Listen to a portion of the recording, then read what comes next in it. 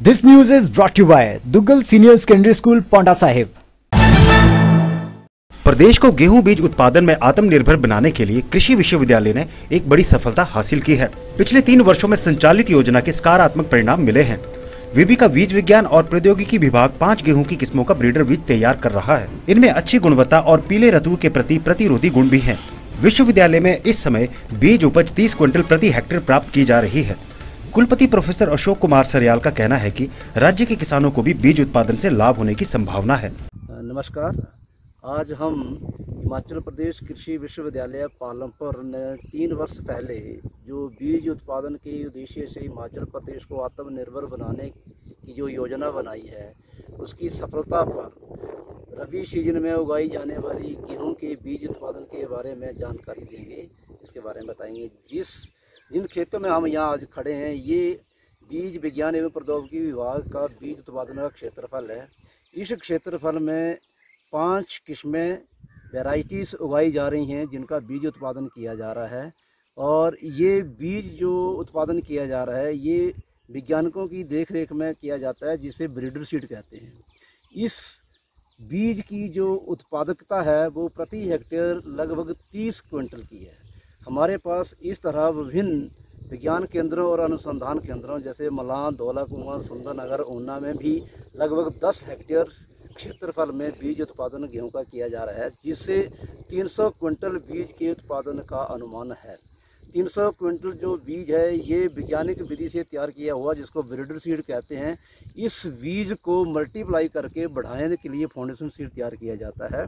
जो foundation seed तैयार किया जाएगा, उसका 30 क्विंटल प्रति हेक्टेयर के हिसाब से हमारे पास 9000 क्विंटल फाउंडेशन सीड पैदा होगा। 9000 क्विंटल जो हमारे पास सीड आएगा, उसको लगभग 9000 हेक्टेयर भूमि चाहिए।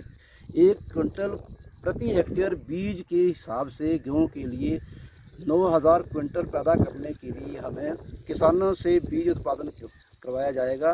नौ हज़ार क्विंटल से जो बीज पैदा होगा, तीसरी बार तीस क्विंटल प्रति हिसाब से दो लाख सत्तर हज़ार क्विंटल बीज पैदा होगा जो पहला बीज उत्पादन विश्वविद्यालय द्वारा होता है, वो लीडर सीड कहलाता है। उसकी शुद्धता और जर्मिनेशन शत प्रतिशत होती है, वे वैज्ञानिकों की देखरेख में होता है।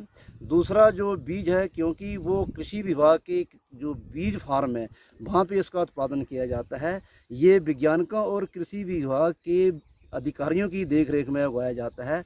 वहाँ से जो बीज तैयार होगा, क्योंकि हमारे पास हिमाचल प्रदेश में लगभग साढ़े तीन लाख हेक्टेयर क्षेत्रफल है, जिसे के लिए साढ़े तीन लाख क्विंटल बीज की ज़रूरत रहती है। और हर वर्ष जो है हमें गेहूँ और धान के लिए 40 प्रतिशत जो बीज है उसको नया देना पड़ता है। तो उससे हिसाब से हमें एक लाख चालीस हज़ार क्विंटल बीज की प्रति वर्ष आवश्यकता रहती है। इस तरह जो बीज फार्म पे हम जो बीज उत्पादन करेंगे, उससे हमारे पास जो बीज आएगा, वो फाउंडेशन कहलाया जाएगा।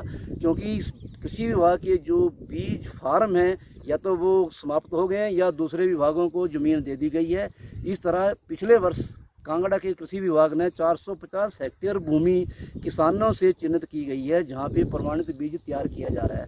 उन किसानों द्वारा कृषि विभाग के सहयोग से विश्वविद्यालय अगले वर्ष जो है वो फाउंडेशन सीड तैयार करेगा और उन्हीं किसानों से नौ हज़ार हेक्टेयर भूमि में सीड सर्टिफिकेशन एजेंसी से किसानों को पंजीकरण करके हमारे पास दो लाख सत्रह हज़ार क्विंटल जब बीज उत्पादन हमारे पास आएगा तो ये ना केवल प्रदेश के कृषि क्षेत्र जो जिसमें साढ़े तीन लाख भूमि है, उसके लिए बीज प्राप्ति होगी। अपितु एक लाख तीस हज़ार क्विंटल बीज जो है हमारे पास सरप्लस होगा, जो दूसरे प्रदेशों को भी हम बेच करके किसानों के लिए लाभ प्राप्त कर सकते हैं। जो बीज हम उत्पादन करते हैं, उसका जो खरीद मूल्य है, वो भी खाने के लिए जो हम गेहूँ उगाते हैं, उससे लगभग पौने छः सौ से सात सौ रुपया ज़्यादा है।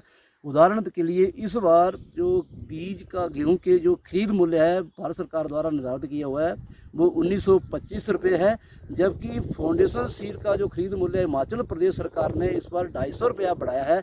उसकी लागत छब्बीस सौ रुपये प्रति क्विंटल है और जो प्रमाणित बीज है, उसकी लागत पच्चीस सौ रुपये प्रति क्विंटल है। इस तरह किसानों को बीज जो फ़सल उगाएँगे, उससे न केवल प्रति क्विंटल उनको 600 से 700 रुपया अधिक मिलेगा, अपितु किसानों द्वारा प्रदेश के लिए बीज की भी जो प्राप्ति है, वो पूरी की जाएगी। इस तरह जो पाँच किस्में यहाँ उगाई जा रही हैं, उसके बारे में जो हमारे जो बीज के वैज्ञानिक हैं, डॉक्टर कपिला, वो इसके बारे में बताएँगे कि कौन कौन किस्में जो हैं, वो इसमें बीज के लिए उगाई जा रही हैं और उनकी जो बीमारियों के लिए क्या पहचान है और क्या खासियत है। धन्यवाद। शिक्षा के क्षेत्र में तेज़ी से उभरता नाम Duggal career senior secondary school Paonta Sahib जो अभिभावकों व विद्यार्थियों की पहली पसंद बन चुका है। राष्ट्रीय पुरस्कार से सम्मानित आर के दुग्गल के कुशल मार्गदर्शन में स्कूल निरंतर नए आयाम स्थापित कर रहा है। स्कूल के कोऑर्डिनेटर नरेश शर्मा बताते हैं कि स्कूल में गुणवत्तापूर्ण शिक्षा के साथ साथ विद्यार्थियों को जेई, नीट, एनडीए, एनटीएस जैसी विभिन्न कॉम्पिटेटिव परीक्षाओं के लिए भी तैयार किया जाता है। हर वर्ष आयोजित होने वाली साइंस इंग्लिश ओलंपियाड में भी भागीदारी सुनिश्चित करवाई जाती है। शिक्षा के साथ साथ खेलकूद में भी विद्यार्थी जौहर दिखा रहे हैं। आगामी सत्र के लिए रजिस्ट्रेशन शुरू। तो अपने बच्चों के सुनहरी भविष्य के लिए आज ही रजिस्ट्रेशन करवाएँ।